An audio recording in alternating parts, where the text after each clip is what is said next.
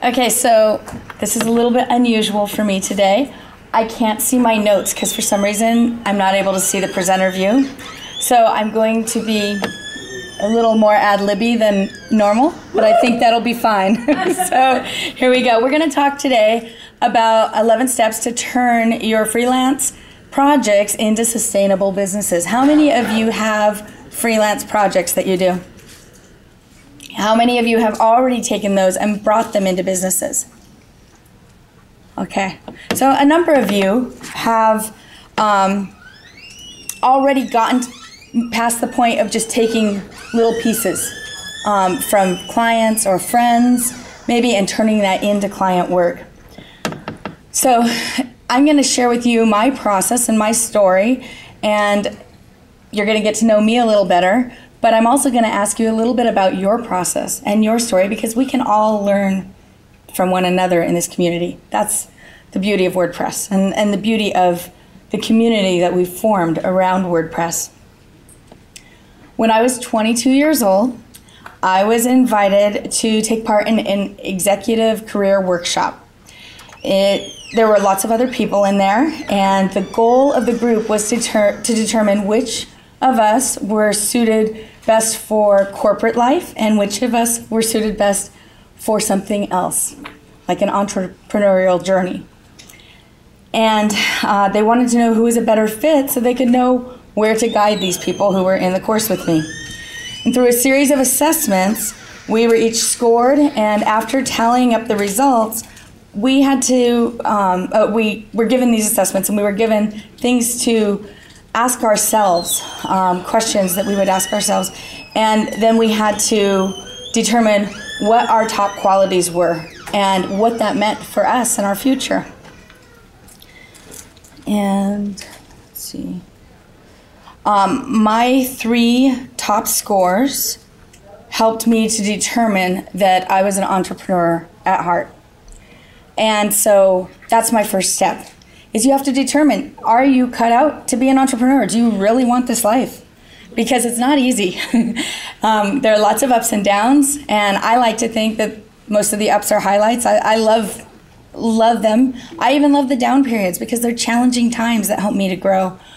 But it's something that you have to make sure that you feel comfortable with. If you want a steady income all the time and you know that you need that in your life, maybe you just want to do the freelance, which is a little add on to your regular income, maybe trying to grow your own business isn't the perfect route for you. So that's something that everybody has to decide for themselves.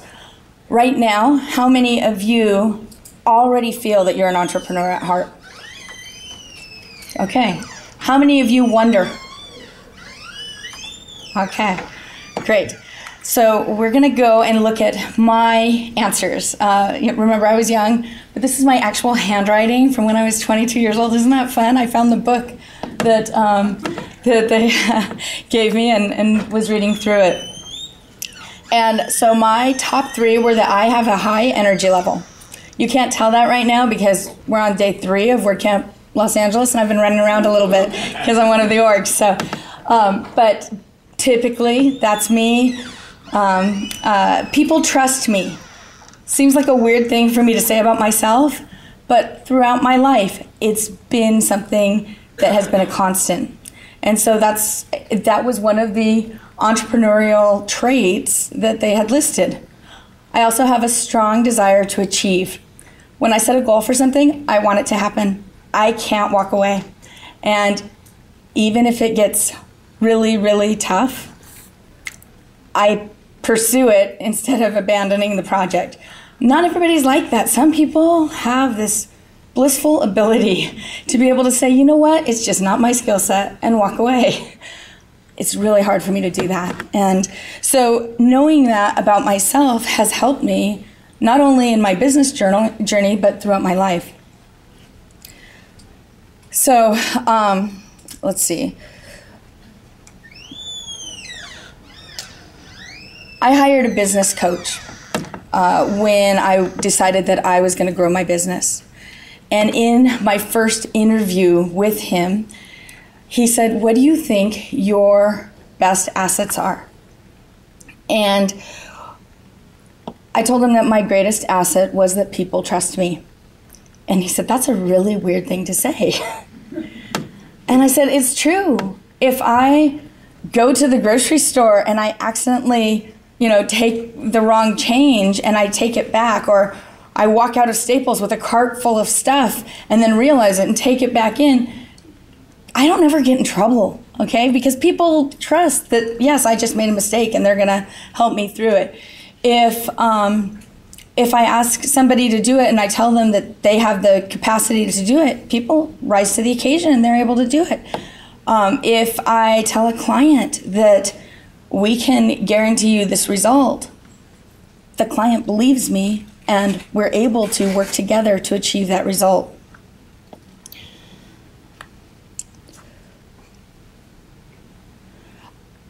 my business uh, is, and I don't know, that introduction was kind of long, so you may not have actually heard all the depth to it, but it starts with content. Um, I have a business that helps people to get their blogging done. If they own a business and they don't have time for their website content, they come to me and my company and we help them produce it. We do website content, we do email campaigns we do we even do some website builds for existing clients we do a bunch of different content related um, products and you have to trust somebody to give them your voice do any of you have clients in that similar field where you're either writing for them or posting for them on social media or um, representing them at conferences where, where you have to really go out on a limb and be your client? Saw a few hands raised. So when that happens, that requires a great deal of trust. But your qualities may be different. Maybe instead of listing these three, you would list something like, I enjoy working more than 50 hours a week. Some people do. um, or I come from a family of entrepreneurs. That actually sets you up to be an entrepreneur yourself if you have that model to base your life around. Or I'm quick to make decisions. What are some other things that you feel would help you to be an entrepreneur? Anybody have any they want to suggest? Uh, outreaching potential clients. The ability to outreach potential clients. Now, do you mean you have a big base that you can draw upon, or do you mean that you feel comfortable meeting on a cold call? Me personally, I wouldn't know where to start to effectively spend my time on. Okay. So you wouldn't know where to start. So that's something that maybe you might need. Like I hired a coach to help me set some of my goals and push myself and for accountability and productivity. Maybe you need a coach to help you just in that one area. And a coach doesn't have to be someone you pay for. I mean, in my case, it was and now we're great friends.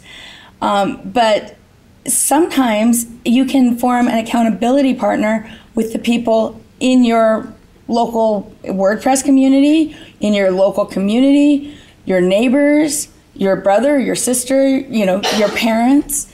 All of these people and your friends can work with you to help you become the entrepreneur you want to be, and you can learn from them the skills that you feel you're currently lacking.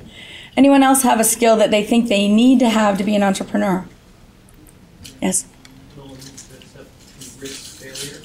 Willingness to, to risk failure, absolutely, right?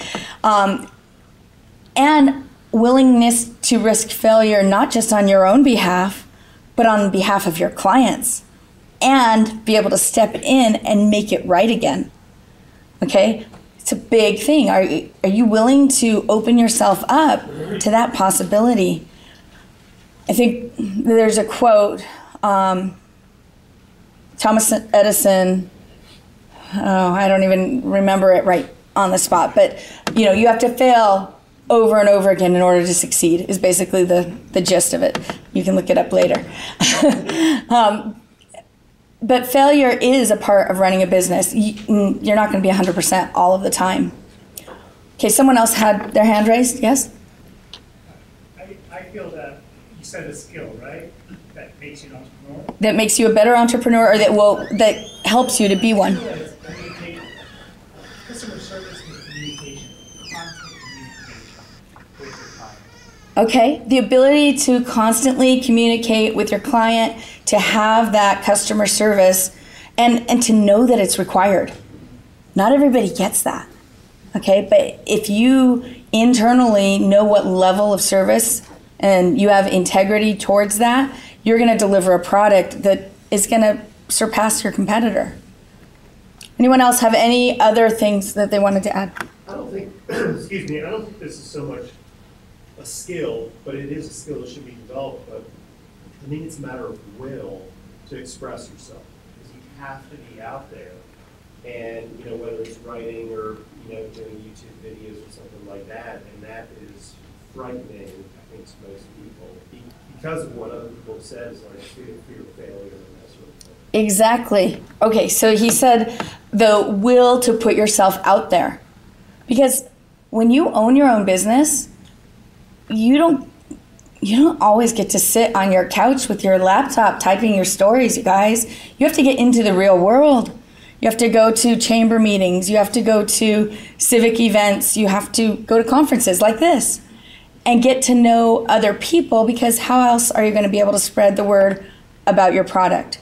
And you have to have these real life events so that you are able to produce real life results for your clients. Okay, they also had us write a paragraph. I want you all, as you're reading through my things, to kind of think about what would you write? And maybe after the session's over, take a few minutes and uh, put together your own paragraph on why would self-employment be a good fit for you. Obviously, I was put in the self-employment group, okay? Um, so I wrote, self-employment would allow me an opportunity for growth. It would allow me to share my talents and knowledge with others, helping me to benefit their lives. I had a higher purpose, right? I have an innate need to help others solve problems and share what I have. Those were all um, things that were on that list. And those are all necessary for self employment. I also like to make decisions and act upon them, which would make self employment a good career choice for me. So, those strengths are things that I've had to work on. Are there strengths in your lives that you have had to grow from being an entrepreneur or taking your first freelance project? Do you remember what it was like to do that first one? Does anybody have anything they want to contribute on that? Okay, I'm going to go on then. Um, but being able to be an entrepreneur is something that um, if you're considering it as an option, you need to have this why. You need to have something to go back to. Simon Sinek wrote Start With Why. I'm sure all of you are aware of that. Um, that book and his talks. He had a TED talk. Great place to start if you don't know what your why is.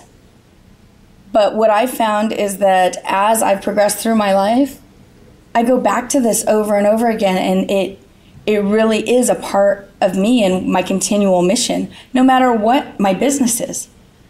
And it's and so it, when you understand what your why is, it motivates you to move further and faster um, to grow that business because it's a gift. It's a gift I gave myself instead of working for someone else full time. And the pros to entrepreneurial uh, entrepreneurship are straightforward. It may seem. I mean, you get to call the shots, right? Is that why everyone wants? That's why you want your own business, is so you can be boss. Okay, raise your hand if you agree. okay. Well, strategy, it's all yours. You get to figure it all out. Success, it's also all yours until you start to build a team. Responsibility is all yours. And inspiration all comes from you. When you want to take time off, you can take off as much time as you want, but it does affect your bottom line. And so you need to understand that work life balance. And for me, work life balance has always been that my life is very balanced if there's no work coming in. But when work piles in, how much sleep do you think I get? Right? There and so work life balance isn't as easy to achieve as we expect. Um, and it's not necessarily something that you can do just by blocking out hours. you can try. You can set different hours for the times where you're going to accept phone calls. You can set hours for when you're going to answer emails. You can set hours for when you're going to meet with clients. And then you can set hours for when you're going to do your actual work. Because those other three things are not really accomplishing the tasks at hand. As you grow into a business, this becomes very important because you need to move from uh, just doing it all yourself to hiring a team. And so establishing office hours gives your team a chance to know when they're supposed to work. Uh, having set hours of email allows your team to fill in those hours for you. You start to build people who can start to replace you in small areas.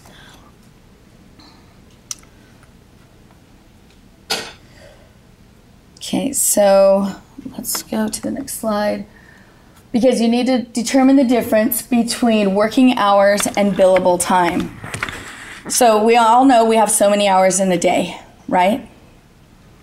If we have a business and we think we're spending all of our time on our business and we are growing our business and it is doing so well, but we're really only spending four hours of billable time each week, is that going to pay the bills? No. You need to set goals for yourself on this because every hour that's billable time is going to equate to a dollar. And Bridget Willard, sitting in the front row here, is going to be talking about job costing, and she will give more um, depth on how you can increase your your hourly rate so that that billable time matters more uh, and and helps you to accomplish the goals. Um, this was my main reason for hiring a business coach was that I have eight kids. I'm a busy mom, or was when I first started my business, and I needed to be able to carve out my work hours, but not just the hours that I would work, the hours that I would work on client work, the hours that I would work on calling people back, and taking care of that customer service. And then when I got to the point where I was able to hire someone to fill in some of that time, it was amazing. My business started to grow because I was no longer trying to manage it all myself. And so a lot of times, uh, once you have your working hours defined and your billable time defined, it frees you up to be able to see I don't have to do all of this myself and maybe I can be billing for somebody else's time as well. So it's the next step. Then after that, you need to, and really this is kind of hand in hand, but um, once you realize that you're, you have a, a billable rate that you can charge, you need to just assess it and make sure that it's covering your monetary needs and set appropriate goals. Um, what I've always been taught is to follow the rule of three. One third goes back into the business. One third is income, gross profit though, and one or, or gross income, and one third um, goes to overhead or your, you know, running your company. And so as you are um, dividing up those percentages, you need to understand how to do the multipliers. If you're going to hire other people, so that's going to cut into that one third, how much do you really need to be making as a business? And my actual numbers, I can't see right now to, to show you, but um, if you were, I, after taking out your vacation time, because those can't count for, if there's 290 hours in a year, you have to take out 140 if you want a two week vacation. And if you have um, a holiday time, that's another 100 hours that you're taking out. And, and you keep reducing by whatever it is that you want to make sure is top priority in your life. Then you end up with, I think it was 1904 hours um, if you're working a 10 hour week, five days a week. And those hours need to be then divided um, or multiplied by your hourly rate so that you can determine your income. And when you do all of that and you take that rule of three into consideration with it, you suddenly realize you need your company needs to make a lot more than you expected. So my business, this is how I grew everything was we went from 5 clients my first year. I determined that with 5 clients that was enough to cover what I needed to um, do financially. And uh, using that rule of three. Once I had five clients, then I wanted to expand so I could hire more team members and um, and build out my business. And so I went from five to 35 in that first year, super fast growth. And then the next year, by the end of the year, we had more than 100 clients. Because you'll find that at that first jump, it's very difficult. Getting from five to 35, it was a lot of work. But once I got there, suddenly referrals and word of mouth and exposure, just me being places, uh, started to bring in more clients in a very natural way and referral relationships. So you can experience expansion, exponential growth even if you're the one who's doing most of the work as you try to expand. One of the ways that I was able to have this growth is because I created a baseline product or service. So I had um, my blogging, we had a package that people could purchase. You could call that a product, you could call it a service. It really is both because it was something that um, they would sign up for once and then it would start and it was recurring. And having that recurring income helps you to have that base so that you can grow the business from there. So once we had people uh, on as recurring income for a few months, it started to become more of a settled income. It didn't feel like I was looking for a new client every week. And the more of those that came in, the more solid my company became. We started offering other products and services. I, I mentioned sometimes we do website development, and so we start we built that out. We built out the steps. We're going to talk about that but by choosing your services, you're going to be able to have something where you can build your um, sales pitch, your process, everything around so that it can be replicated and shared. And other people can share what you do with other people. How many of you have your product and service in mind already?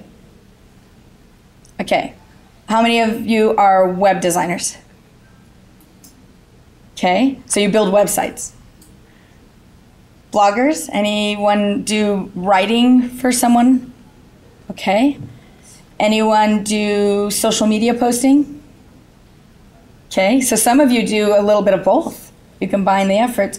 What other services do you offer that I didn't list? Development.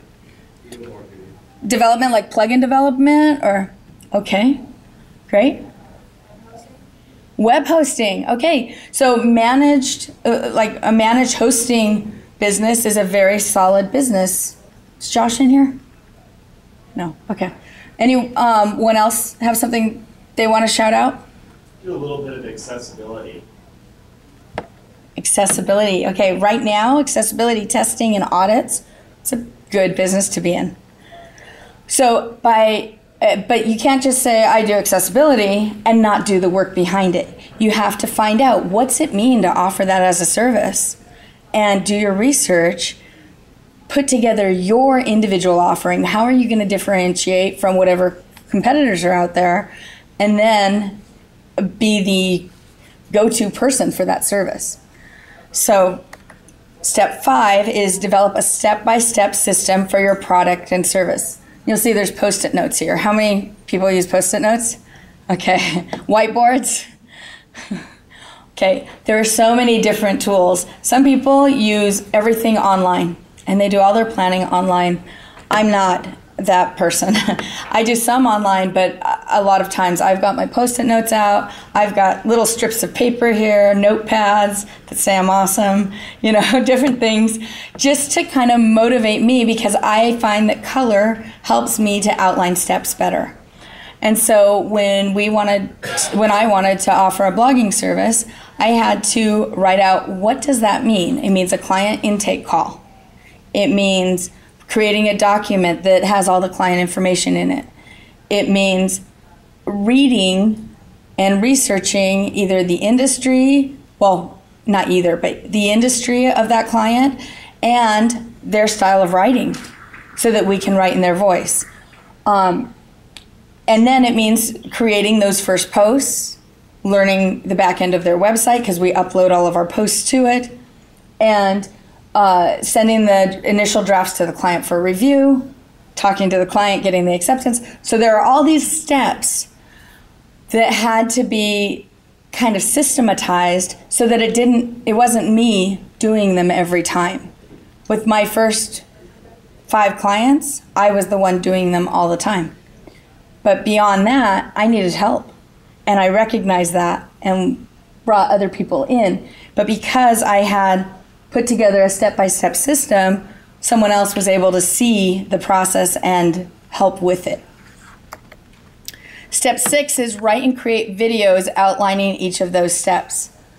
So I use Screencast, um, I think that's what it's called, uh, to, uh, it's just an extension in my browser, and they changed the name not too recently. I used to use um, something called Jing, but it doesn't, Oh, Jing's gone? uh, it it doesn't always work as well for me. I, I think it's still there, but I think my videos are too long for it.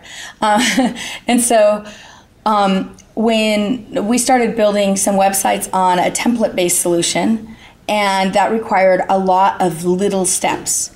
So we put that in our project management tool and made templates so that people could see the written steps. But I also made videos for each step so that if they didn't understand what the technical details were, they could watch the video and then go and do the step. And that has been huge in building my business because when you make a video, you're not just training one person, you can share that multiple times as you have new hires. And um, hiring people has been somewhat of a challenge to me as a business owner. Uh, I've I have I love my team and we we do great, but every once in a while we bring someone in and think it's going well and then it's just not a good fit for whatever reason. And so by having the videos, it means that it wasn't my time invested in the training. And from this, I ended up doing a training course for our internal team, and then I was able to use that course actually to give to my clients for a do-it-yourself course. So it it's been a huge benefit to create those videos and write out those outlines.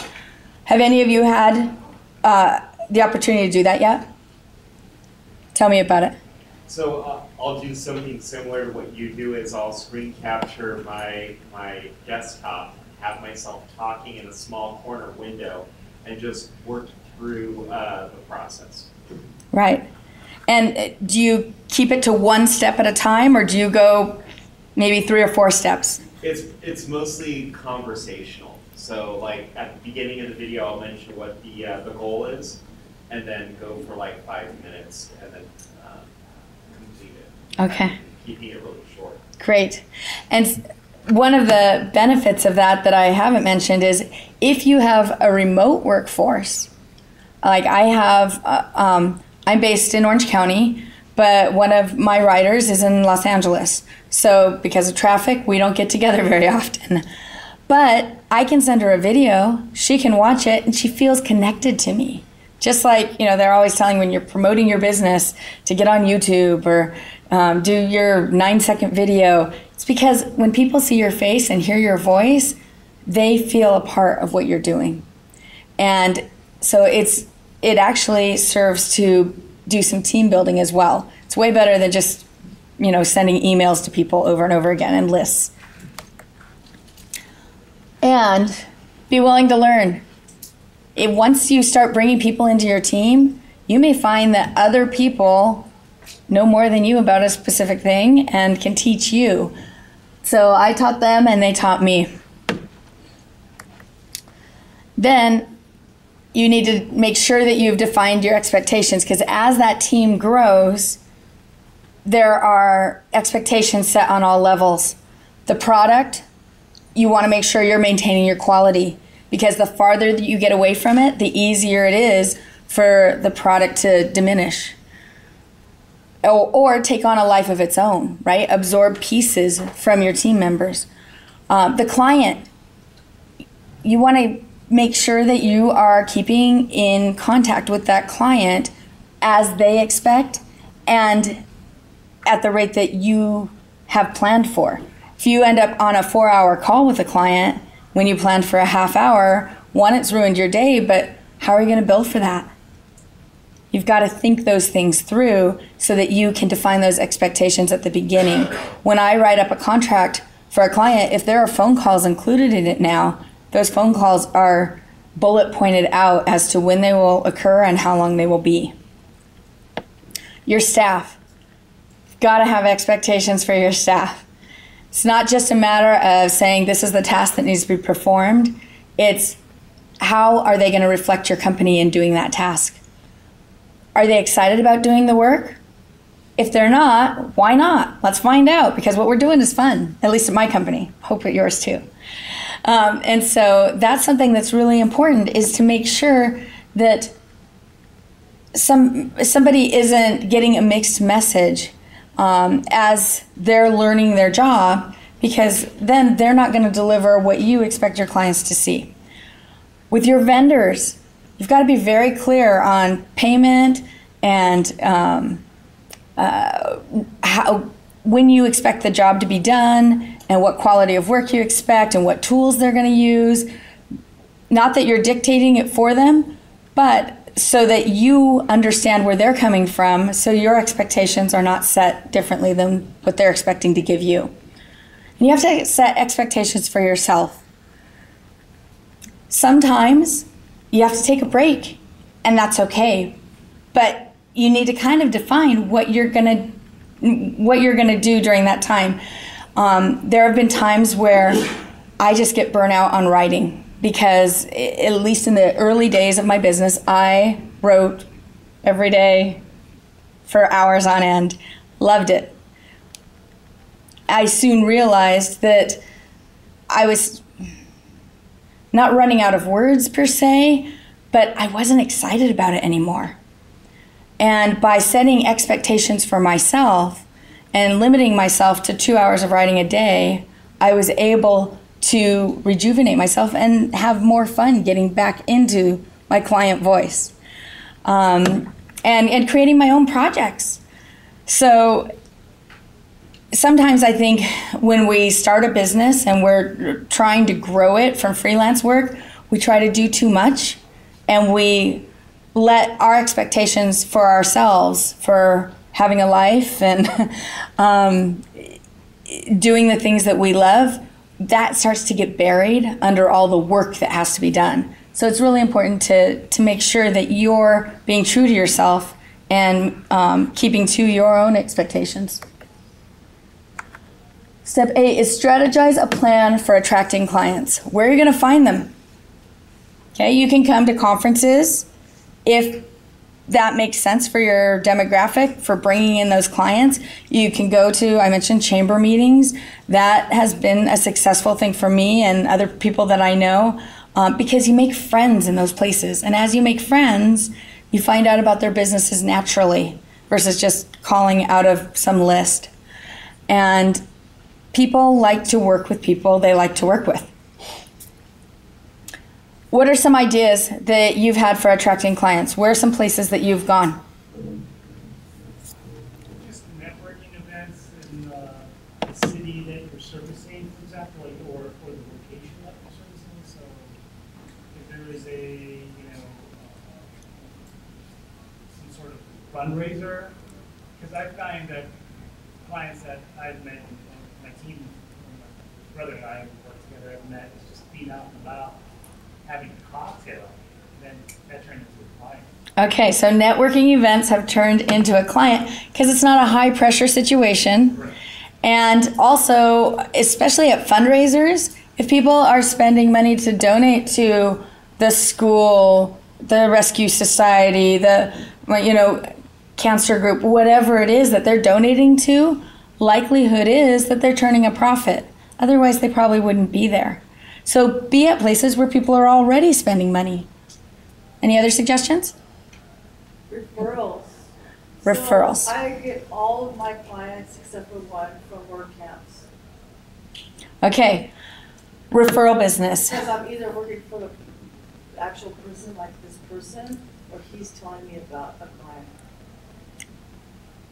Okay, so what Bridget said was that um, she meets people at WordCamps. Very specific to, she's doing marketing. And so it's very specific to her. There are lots of development companies and plugin companies and other individuals who need marketing services at WordCamps. So it's a great place for her to show up because they don't realize they need it until they see what she can do, which they see at their, you know, from someone else who's attending, and that's how she gets her referral business. Also, website developers like to have words on their websites. Yes, and we're website developers like to have words on their websites. Yes, and that's actually one of the reasons why um, I'm able to find clients at these events too, is because people need people to write the content in order to launch that website, right? Like that's a huge thing for clients. Anyone else? Another venue? Yes. volunteer your services for, say, like TEDx, Pasadena has, and so volunteer and then word of mouth with that. And they see what you're doing. Oh, I didn't know you were. Absolutely. Volunteer your services, whether it's a TEDx event, so it's, you know, something where business people attend, or even just volunteering at your school and telling people, open your mouth, tell people what it is that you do. All of this in person contact is something that we lack a lot of. You know, everybody's on their devices nowadays. And so sometimes it's easy to forget that stepping out of your door and actually attending event is a great way to meet people who will become your future clients. Another thing you can do is um, I do work for nonprofits, and so I attend some of their community events. So it's not my group of people necessarily that I'm um, meeting when I go to those events. I meet people outside my sphere, and that's a great way to um, get let other people know about your services so that you can start to expand that circle. Another thing is uh, how many of you do email lists and um, send out regular updates to clients? Okay. Not all of you have clients, I get that. But um, that's a great way if you have them, if they've signed up on your list and it's all authorized. We don't want any GDPR issues going on here, but we, um, as you're communicating with them, they sometimes forward those emails. I know that I, I use a product called Infusionsoft in, in my business um, for sending out emails, and it has a great return for getting into people's inboxes.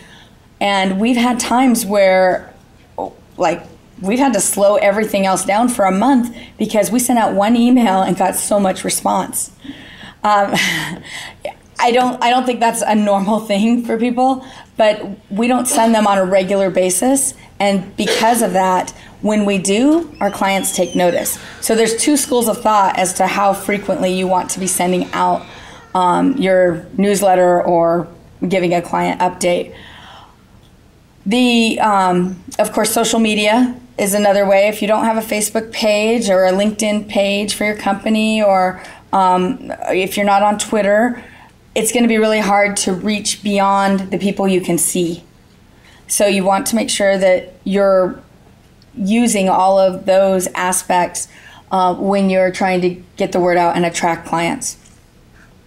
You can also partner with other companies, uh, especially with Facebook. This is something we do with our clients all the time. We'll write about a place in their community, uh, and then we'll tag that person, and suddenly that person's audience is now a part of our client's audience. So it works for both of them because they're able to kind of merge their networks that way. So thinking through those things ahead of time helps you to be able to build your business. Okay, and then you track and test everything and you, you set future expectations based on those results. So if you find out that sharing to Twitter hasn't done anything for you, is that where you want to spend your time? I don't think you'll get those results. I think you'll find that it actually builds your business. But if you find it builds your business, then you're going to want to put more effort there. You may even want to hire somebody to help you to build that. And it's just a matter of seeing what's worked. Okay, you can do all the graphs and um, and and keep that as a reference point for yourself. But you can also use common sense and see where are my leads coming from. You know, look in the dashboards of your site, find out who are your top referrers. Look over your list. Where did these, you know, we built these websites. Who sent us those websites? And work those connections a little bit better and make make better relationships. Send someone a gift card or a box of chocolate to say thank you if they send you some work because they're going to appreciate the fact that you remembered them. And this leads into step 10, which is teaming with others and building relationships. Because as you build those relationships, everyone will be invested in what you're doing. Your staff, your vendors, your clients, your community will back you up and start talking about what you're doing. Your family and your friends, of course, right? They're always going to be there for you, we hope. Uh, but those other avenues, the community is an amazing place to go, whether it's your industry community or your local uh, geographic community. And step 11, oh, we're not there. Because we must carry as we climb in this life. I love this quote because as you're growing your business, as you're climbing and trying to reach these steps and make this all happen, you're also going to have people along the way that you can help. And it's by helping one another that we really achieve a lot more in our lives. So, step 10, we just did. Okay, step 11. Um, and then once you've done this and you have your business coming in, you start to realize that you can walk away. And I've been able to take weeks off from my business now because I've set up these systems, these practices, these people who are gracious enough to allow me to be able to walk away. And um, by figuring out what it is I do all day, I'm able to help them see what they can do all day and how they can uh, grow our business without me being there. Thank you.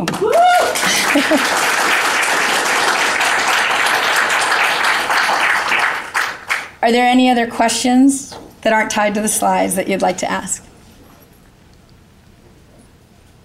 Do you have one? Oh, no, I don't. I was, I was thinking to myself that you, uh, you were talking to me, right? Yeah. Oh, I was thinking to myself, he's got it like directly at 45 minutes, and I was just impressed.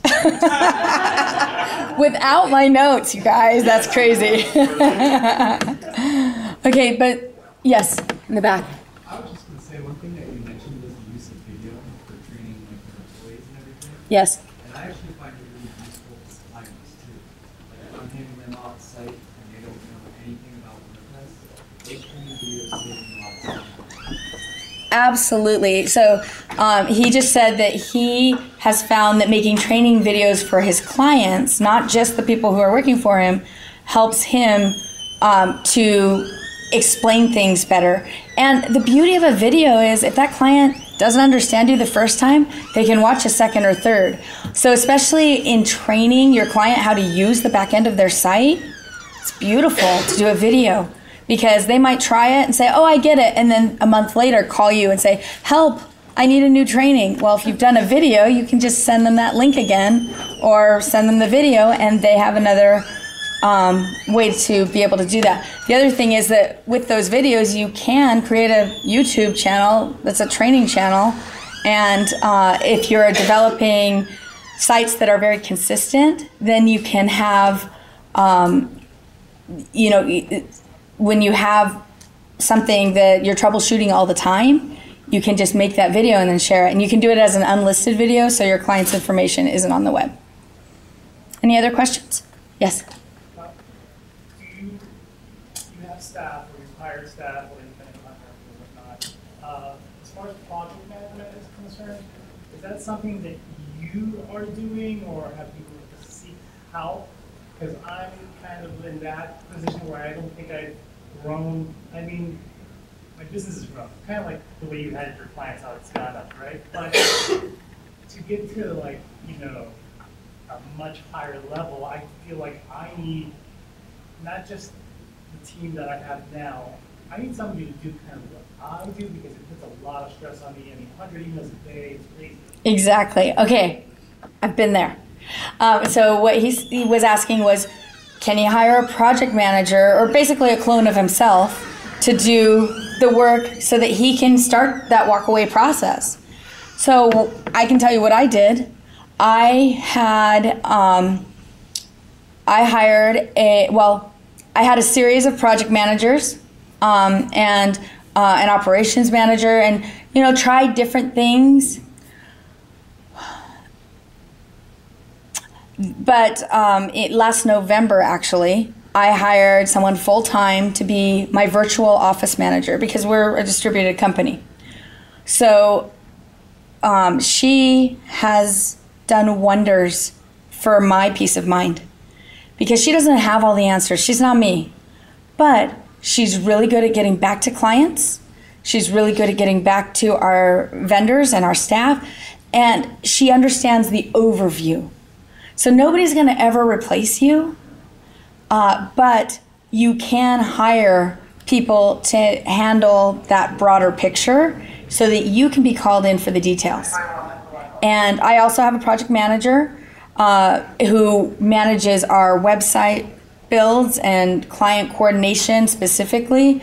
Uh, so he knows a little more of the tech, you, so he can have those conversations. Um, but she does the overview because we have so many little lines of business going on with, with the different products we offer. But yes, been hugely helpful, and um, I was able to go to Europe twice this past summer for extended periods of time. Not, I could not have done that four years ago. Okay, my business is five years old, and um, when I and well, yeah, it's five years old. We have way more than hundred clients, though. Uh, it's just that that's what um, that was my progression there. Um, I couldn't have done that without having those people in place. And I use a tool that allows everyone to see my email. So my life is full transparency, you guys. People who work for me know everything about me. Um, but that has allowed me to be able to step away. So, okay, well, thank you so much. It was good speaking with all of you, and ask me questions if you have them.